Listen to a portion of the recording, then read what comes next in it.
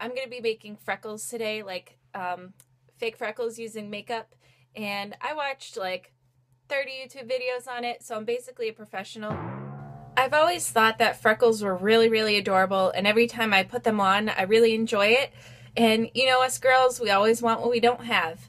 Naturally, I have blonde hair, my hair is straight, and what do I do? I make it dark brown and I make it curly. So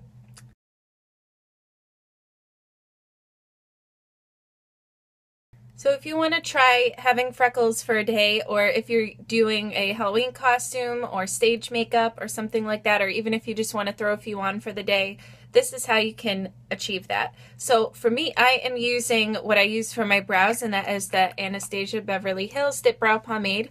And this is like a gel slash cream. I think what would also work is a um, cream eyeliner.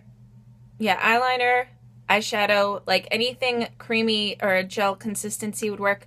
Also, if you don't have either of those things, then I think you could use a brown mascara. And it's going to be the same procedure basically for each one of these products. So for mine, I'm going to be using this product and I'm going to take a tool. It doesn't really matter what it is. I just happen to have this. And it doesn't have to be an actual tool. Like you could use a little brush. You could use whatever you want to use um, and just take a tiny, tiny drop of it.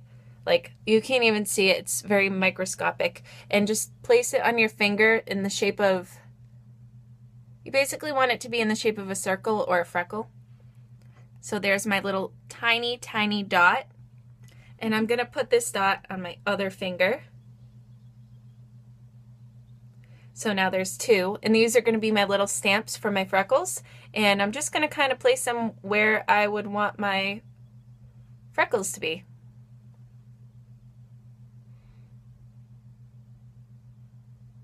Just like so. And they're kind of dark right now and prominent, so to kind of like fade those a little bit, I'm just pre pressing them in with my other finger, and it kind of helps to set them too. So yeah, um, you can continue to apply a little drop of the product and keep stamping them on. And when people naturally have freckles, they're not just like a little bit on the nose and cheeks. They kind of spread up into the forehead, um, maybe even around the chin a little bit. So just you want this to look natural. You don't want to make it look like you stamped a couple of freckles on your face. So freckles naturally don't have any sort of pattern so you might want to put them where you normally maybe like wouldn't want freckles, like maybe right in between your eyes just to make it look like you didn't put them there on purpose.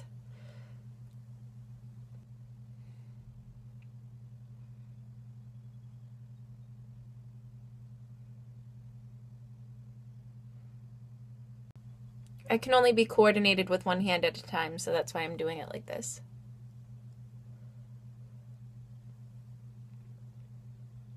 So that's basically how you want to do it.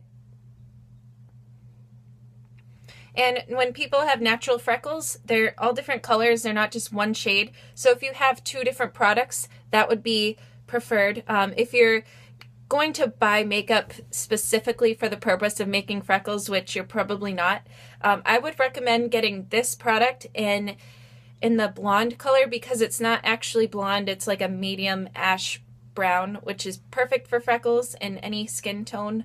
So you want to make it like probably no darker than your eyebrows because that would look kind of ridiculous. Freckles, like I said, they don't really have a pattern and there's no rhyme or reason to it. So make sure that if you're applying them, you don't want to do it like perfectly spread out because then, then it will look too obvious.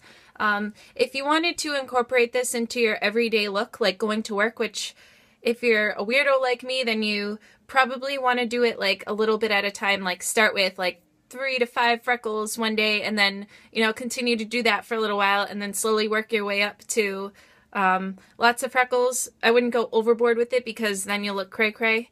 Um, but yeah, I just thought this was fun and cute, and I really enjoy freckle faced people, and I wanted to have freckles myself, so I decided to go ahead and stamp them on my face.